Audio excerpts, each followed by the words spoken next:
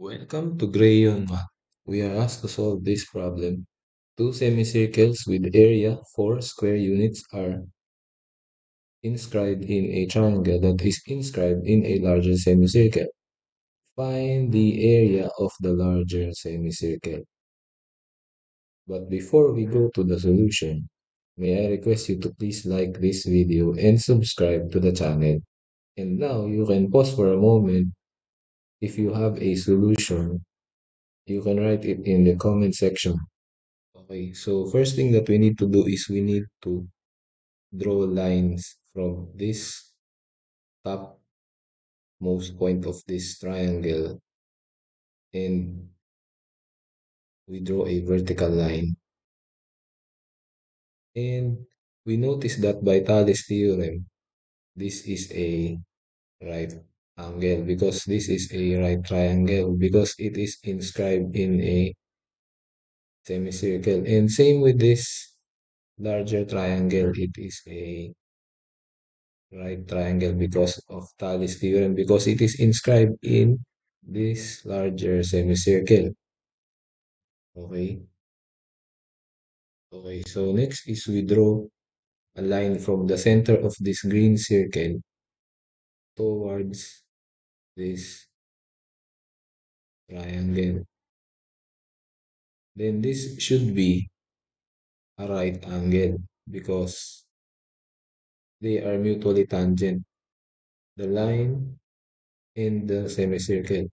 And also, since these two semicircles are mutually tangent at this point, then you can draw a line from the center to the center.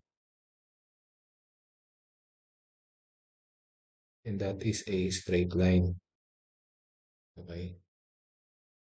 Next is we label the lengths of this figure. So if we consider the radius of the semicircles, then we label that, if we label that as r, then this is also r.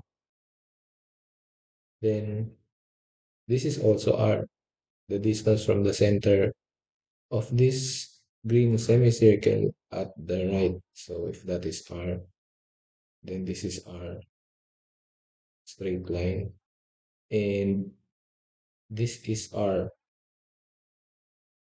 And if we consider this triangle, this triangle, we actually form a right triangle. Next is we get this length. So since the sides are r and 2r, this length should be, we label that as x. We have x is equal to the square root of r square plus 2r square. Then we have x is equal to the square of r squared plus 4r squared or x is equal to the square of 5r squared. So if you get the square root of that, then you have x is equal to r square root of 5.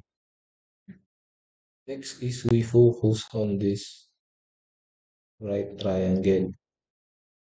So since this leg is r, this r, then this leg should be also 2r because if we take a look on this other triangle, they have the same orientation. And since one leg is r, then the other leg is also 2r. And the hypotenuse of this is also, of course, r square root of 5. Okay, so next thing that we need to do is we need to represent the area in terms of the radius that we got earlier. So area is equal to pi times the radius square over 2. So area is equal to pi times r square root of 5 square all over 2. So area is equal to 5 pi r square all over 2. Okay, so next is we find the value of r squared. So based on the given, 4 is equal to pi r square over 2. This is the area of the green semicircle. And if we simplify this by cross multiplying, we have 4 times 2 is equal to 8 over pi is equal to r squared. Okay, so for the final step is we need to find the value of the area. But the area as we got earlier, it is area is equal to 5 pi r square over 2. So area is equal to 5 over 2 times pi. But we got r square to be 8 over pi. And we just need to cancel the pi. And 8 divided by 2 is 4. 4 times 5 is equal to 20.